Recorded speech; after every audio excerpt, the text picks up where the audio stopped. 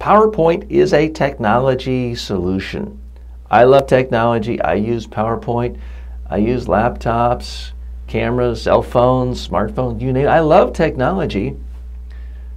But one of the beauties of people coming into a room together to hear someone speak is it's one of those rare moments that isn't primarily about technology in the modern world. In some ways, it's no different than people gathering in a room to hear Abe Lincoln and Stephen Douglas debate for five hours. It's an actual live experience. Same with Broadway shows. You might love a movie, but it's a different experience being in the room and seeing people speak.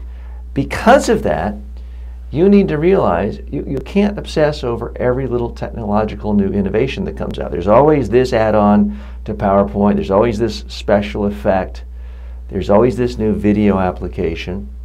And if you are a PowerPoint professional, sure, you need to keep abreast of those things. But if you're the typical executive and you give presentations as a part of your job, part of your living, part of your life, my advice don't obsess over every single little technology innovation. What you should do is obsess over the reaction you're getting from your audiences. Are they truly understanding your messages? Are they truly remembering your messages? Which stories are they coming back to you and throwing back in your face that they say were so powerful?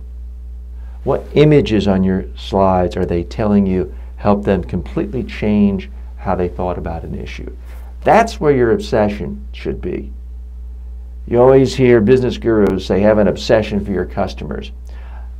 I believe a presentation guru should say you should be obsessed with your audience. What is really going to help them understand and remember your messages more so they can take the actions you want? It's probably not going to be the latest build or a page turn or a dissolve with your PowerPoint presentation. So focus less on every little technology innovation and more on your audience.